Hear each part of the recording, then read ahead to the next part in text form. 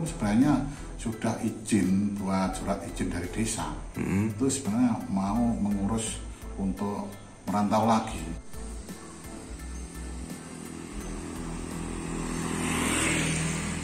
Pak, eh, apa bisa diceritakan mungkin soal warganya ya, warga jenengan, Mas N itu ya, Nanang Mas ya, iya. Ah, ya, yang ditangkap Densus di Tulungagung dengan dugaan apa terlibat teroris.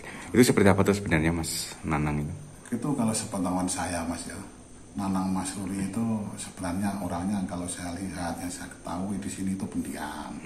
Dia bergerak juga di kanan kiri di Tonggo Teparo itu sae. Baik ya. Baik gitu. Karena apa dia itu sebenarnya tidak pernah neko-neko kalau di di sini. Iya. keluarganya juga baik. Orang tuanya ini sudah masuk torekat mau haji. Mm-mm. tuh kalau indikasinya seperti itu sebenarnya enggak kalau dilihat saya kira juga kurang tepat Nah, tapi memang ya orang tua tidak tahu posisi anaknya di luar seperti apa. Dan itu pun dia akan pernah merantau kalau nggak salah sudah tiga kali Tiga kali ya? awalnya itu di Malaysia Baik. mm-mm. untuk yang kedua kalinya di Korea Korea kalau nggak salah sampai tujuh tahun. Iya. terus di Taiwan kalau nggak nggak salah gitu Mm-mm. dan setelah itu dia pulang pulang karena dia sudah membuat rumah nggak nggak punya apa itu uang lagi untuk pengembangan e- ekonomi akhirnya dia berangkat lagi. Ini pun sebenarnya sudah izin buat surat izin dari desa. Itu sebenarnya mau mengurus untuk merantau lagi.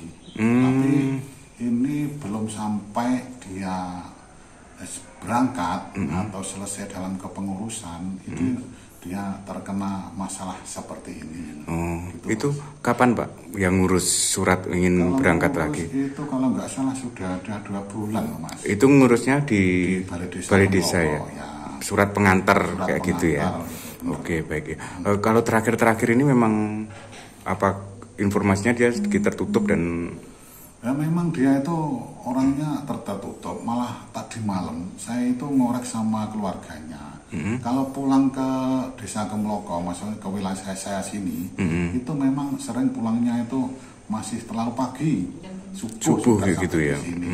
Jadi itu menurut pemandangan oh, saya itu yang jelas itu mungkin beliaunya atau Nanang Mas Rudi itu mungkin ya kalau melakukan hal seperti itu malamnya itu mungkin bisa Iya. seperti itu. ya Eh, Pak Wo kalau jenengan sendiri sebenarnya sudah pernah dapat informasi soal Mas Nanang ini soal kaitannya dengan masalah ini ya, Ya. terorisme itu? Itu gini, karena saya itu koordinator penanganan masalah daerah desa Kemloko itu kalau ada masalah dari pihak ranah hukum atau pihak kepolisian itu sering laporan ke saya. Untuk itu dalam hal ini saya pernah dibisiki oleh orang anggota dari Polres. Bilang, "Nah, apakah ada yang nama Nanang Mas Uri? Ya ada itu warga saya. Langsung saya jawab gitu memang Hmm, saya langsung tanggap. Dan itu anu tolong Pak Pak Wo nanti tolong di Awasi kayak gitu ya. awasi orangnya nanti gerak-geraknya gerak-geriknya seperti apa di rumah. Itu Mas. Iya. oke.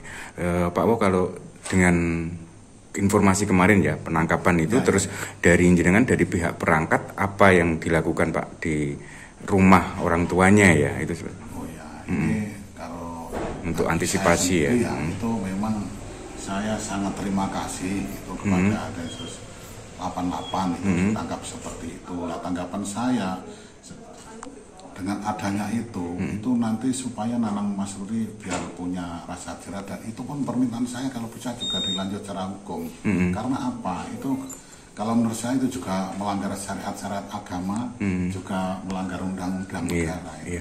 Enggak maksudnya untuk yang antisipasinya di di rumah yang dilakukan apa? Seperti misalnya kak tadi lapor ke Polres Ya, untuk pengecekan dan memang- lain-lain itu ya, seperti apa? Memang gitu.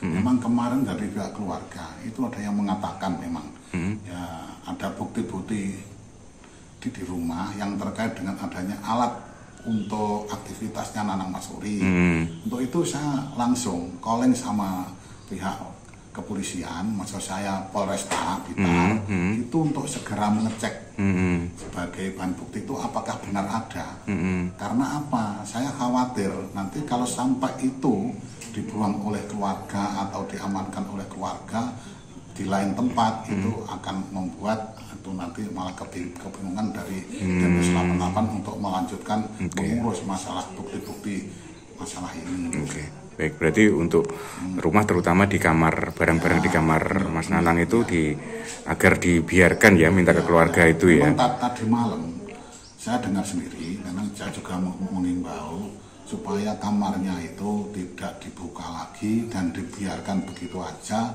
apabila nanti ada pengecekan dari Densus itu biar dakwah mas Iya, Maksudnya tidak tetap. Oke, baik.